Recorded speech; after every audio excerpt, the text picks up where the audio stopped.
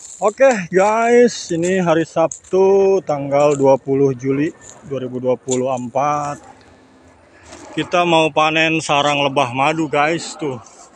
Sarangnya di atas ya.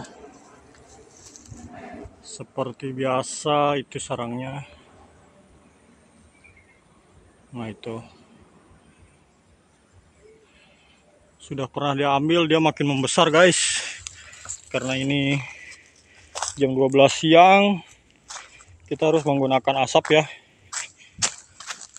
Alhamdulillah sih udah dapet.